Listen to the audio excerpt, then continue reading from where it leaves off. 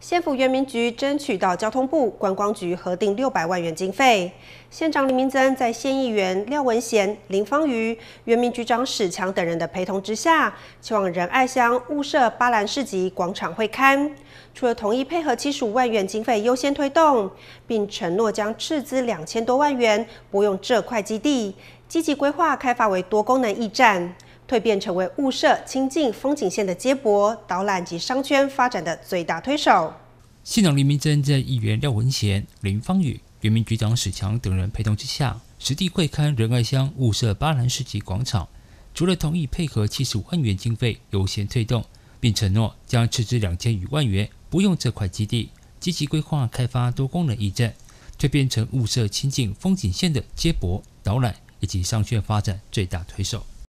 县长林明珍指出，目前巴兰广场市集即使经过改善基地铺面、排水以及公厕，功能仍仅限于临时摊贩市场。县府除了将优先运用中央观光局补助完成上述改善工程，还有进一步的远大构想，也将落实推动。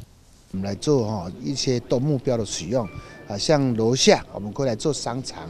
那么二楼、三楼、四楼啊啊还是啊农会。哎，他们需要办公厅，我们都可以来配合一并设计啊，完设计新建完成啊，他来租给啊农会来使用，或是卖给农会都可以哦。所以这块土地我们一定要好好来利用。在一个山区啊，要找找一块这么大的一个平地啊，是非常不容易的哦。所以我们会尽快的想办法，哦啊，第一步骤啊，先把这个土地啊先拨回啊，拨给拨来县政府。然后我们再积极的来筹措经费，来做规划，啊，把这块这块土地啊，啊，变成一个非常有利用价值的一块一个诶综合大楼哦，啊，然后以后啊，要到清境去哈，还要去清境啊观赏，我们车子停在这边，我们就用接驳车啊，把它送到啊啊清境，避免清境啊大塞车哦。我想这个我们都可以尽量的来做计划啊，尽量的来把它完成。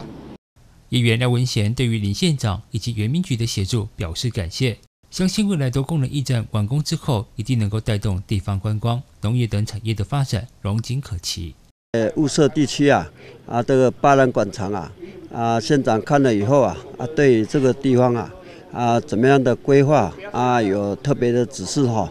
啊，希望哈，啊，这个巴兰这个广场啊，能够做一个啊环境的改善以外啊。啊，将来我们县政府啊，打算把这块土地啊，啊来拨用哈，啊来做多功能的这个使用哈，啊相信这个地方啊，啊如果建设完成啊，啊可以带来我们这个仁爱乡的整个经济的发展。